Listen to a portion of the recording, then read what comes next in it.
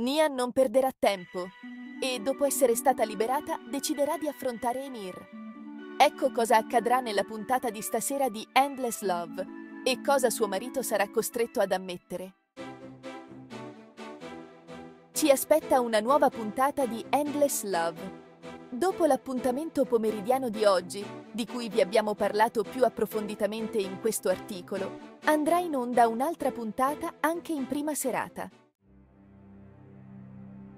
Come i telespettatori sanno, Nihan è stata rapita ed è iniziata la corsa contro il tempo di Kemal ed Emir per salvare la donna che amano. Possiamo svelarvi che, nella puntata di questo pomeriggio, Kemal ed Emir non riusciranno ancora a salvarla, ma fortunatamente stasera ci sarà uno sviluppo cruciale. Alla ricerca della donna si uniranno anche altri due uomini. Due uomini che adorano Nian e che farebbero di tutto per salvarla. Stasera a Endless Love, Emir conferma i sospetti di Nihan. I due uomini in questione sono Onder e Ozan, il padre e il fratello di Nihan. Dopo aver chiesto informazioni ad Emir, che non rivelerà nulla, Onder si rivolgerà a Kemal. Fortunatamente Kemal gli dirà la verità sul rapimento di Nian questa rivelazione unirà padre e figlio nella loro ricerca. Per fortuna, alla fine Kemal, Emir, Onder e Ozan troveranno e porteranno in salvo la ragazza.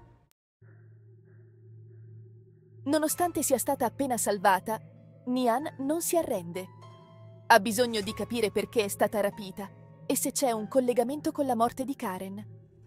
Affronterà suo marito, Emir, chiedendogli di sapere se è stato lui ad uccidere Karen. Emir ammetterà quasi tutto, dicendo a Nian che non è stato lui ad uccidere Karen, ma uno dei suoi uomini.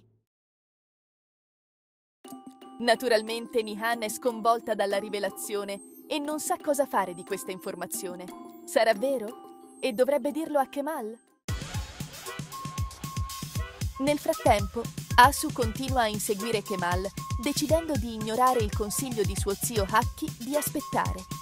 In un altro colpo di scena, Vildan scopre che Galip l'ha ingannata ed è lui il solo proprietario della casa di Leila.